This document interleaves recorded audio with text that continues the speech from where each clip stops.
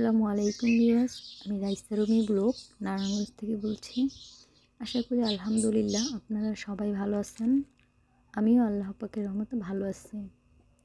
এই তো সকাল সকাল চলে আসলাম আপনাদের মাঝে। আমি আমার আরও একটি ব্লগ নিয়ে। এখন বাজে সকাল ছটা। আসলে আজ অনেক সকালেই উঠছি ঘুম থেকে, উঠে ফজরের নামাজ পড়ে।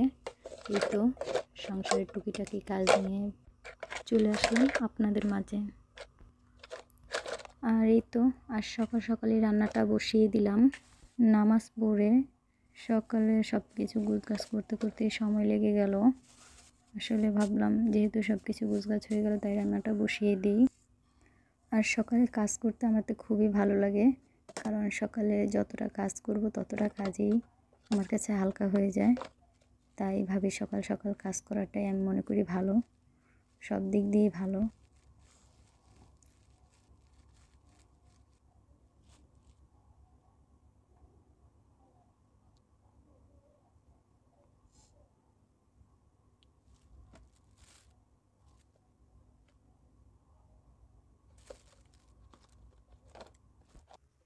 এই তো আমার ঝুড়িটা গোছানো হয়ে গেছে।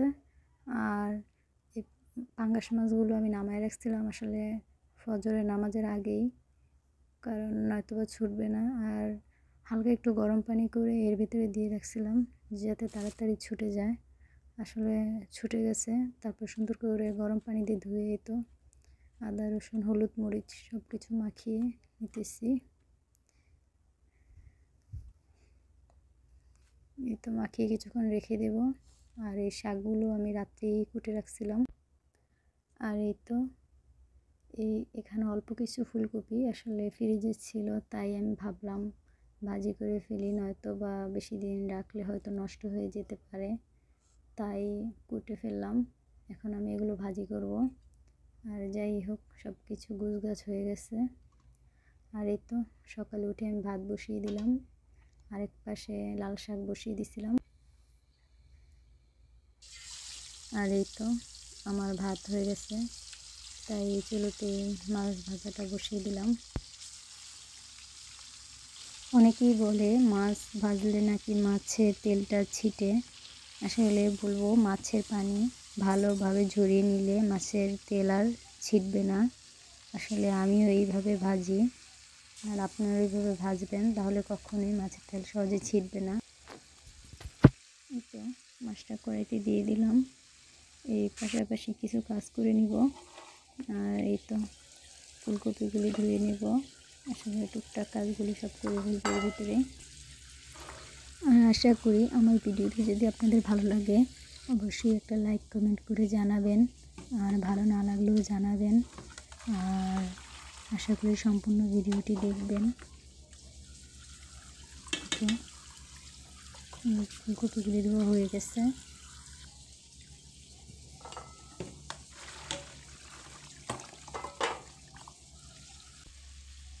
আর এই তো মাছ এক পাশে হয়ে গেছে। তাই আরেক পাশে উল্টিয়ে দিতেছি।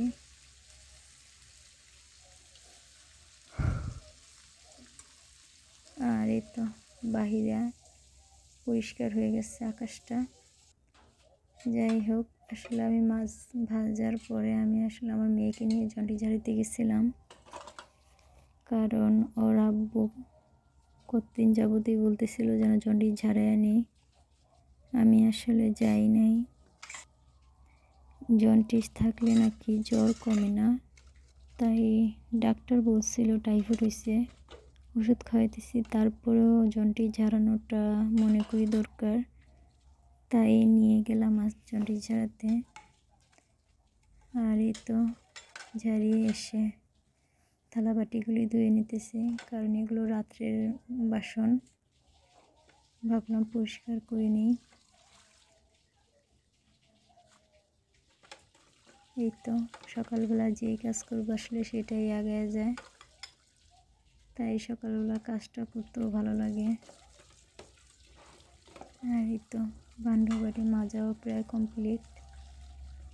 এখন ধুয়ে নেব। এর ফাঁকে আমার মেয়েরা বলতেছে আমার খিদে লাগছে। আসলে ওরা বড় মেয়েটা মাদ্রাসায় যাবে আর ছোটো জন তো অসুস্থই।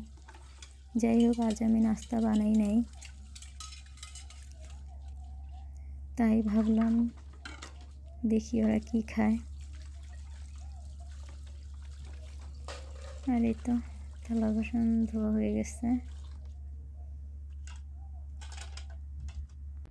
আর এই তো, এগুলো আমি গুছিয়ে রাখতেছি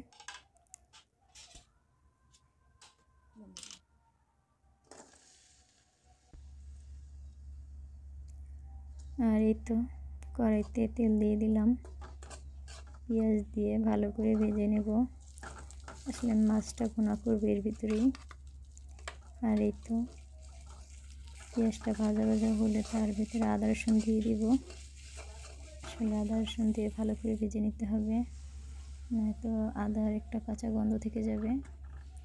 আর এই তো হালকা একটু পানি দিয়ে দিলাম যাতে কড়াইটা না পুড়ে যায়। এই তো, তার ভেতরে আমি এক চামচ হলুদ, দুই চামচ মরিচ পরিমাণ মতো লবণ দিয়ে দিলাম।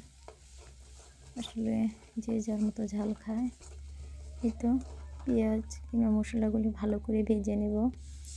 ভাজা হয়ে গেলে তার ভিতরে পানি দিয়ে দিব। আর এই তো, কিছু জিরা বাটা দিয়ে দিলাম। আর যাই হোক, এখন ভালো করে মশলাটা আমি কষিয়ে নেব। কষা কষা হয়ে গেলে যখন একটু ঝোলটা কমে আসবে তখন আমি তাতে টমেটো দিয়ে দিব। তো মশলা কষানো হয়ে গেলে তা আমি পানি দিয়ে দিব।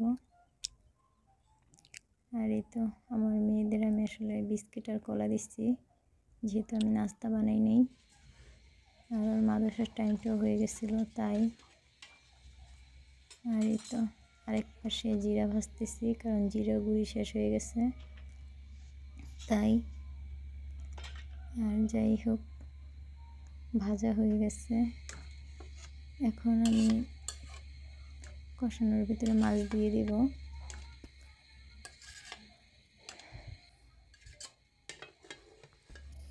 আর কিছুক্ষণ এভাবে একটু জালটা বাড়িয়ে দিব, যাতে হয়ে যায়। এই তো আমার তরকারিটা হয়ে গেছে, দেখুন। কালারটা কত সুন্দর হয়েছে। আসলে এইভাবে রান্না করবেন, খেতে খুব মজা লাগবে। আর উপরে তো একটু জিরা ফাঁকি দিয়ে দিলাম। আর এই তো আমার তরকারিটা হয়ে গেছে। এখন আমি এটা নামিয়ে ফেলব।